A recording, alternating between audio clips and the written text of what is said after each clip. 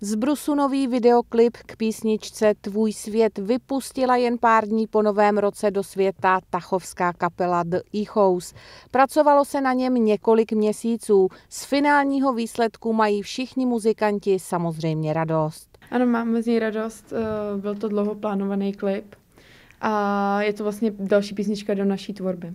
Natáčet se začalo už v loni v létě, poté se pokračovalo tak, jak to dovolila opatření související s pandemií. A vlastně muziku k tomu složili kluci Honza Koťuha a Michal Šedivý a text jsem psala já.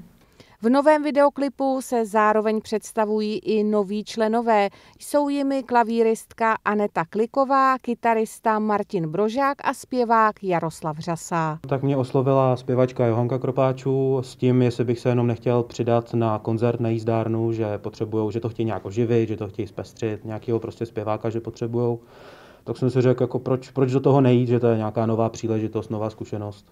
O tom, že The Echoes tady jsou, tvoří a hrají, prý nová pěvecká posila samozřejmě věděla. Byl jsem i na pár koncertech a moc se mi to líbilo, takže svým způsobem taká podsta, jako že jsem se mohl přidat.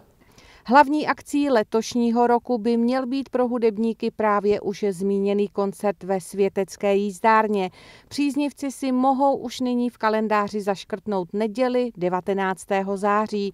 Kapela si v Národní kulturní památce zahraje už po třetí. My už to bereme trošku jako tradici a chtěli jsme teď i tím, že máme nové členy, tak to trošku zase jinak pojmout a těšíme se. No. Výzdárně určitě zazní kromě jiných i autorská píseň Tvůj svět. Novým videoklipem k ní, který už za chvíli uvidíte i v našem vysílání, chtěli prý The Echoes potěšit a hlavně povzbudit lidi v této nelehké době. To byl i účel, my jsme chtěli vypustit teď něco takového veselého, co lidi jako nabudí k tomu, aby měli lepší náladu, protože v tuto situaci uh, jsou takové věci potřeba.